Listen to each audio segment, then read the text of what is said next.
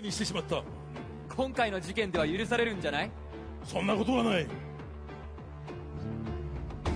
越えてはならない。一線ある。越えれば必ず自分を失う。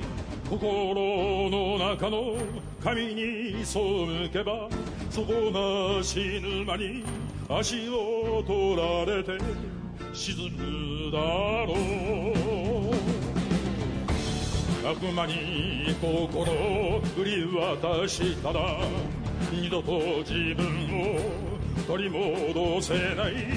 制御できない。地獄の炎に自ら焼かれ苦しみの中果てるだろう。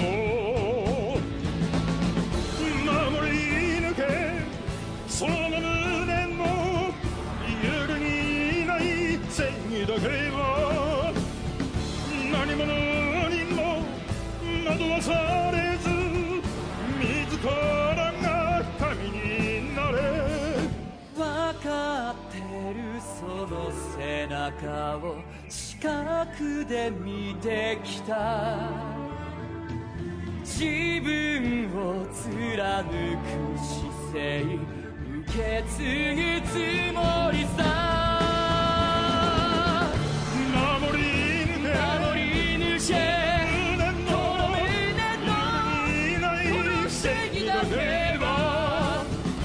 何者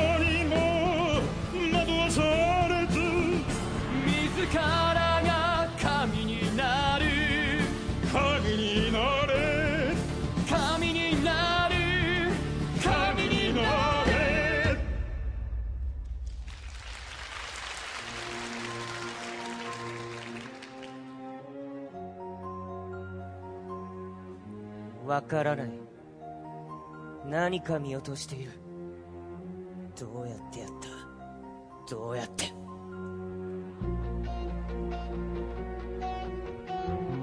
キラお前との距離は今どれくらいか？近づけば遠ざかる。今何も考えている。お前が今一番殺したい奴はこの私のはずだろう。何が欲しい名前の他に。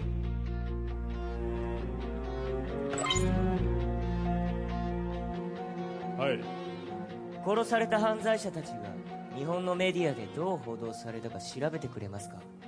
具体的に言いますとニュース新聞雑誌等で犯罪者たちの顔が公開されたかどうかチェックしてほしいんです。分かった。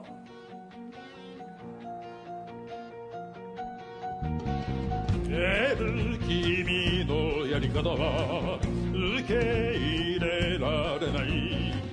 キラーを道連れにして地獄まで落ちるつもりか。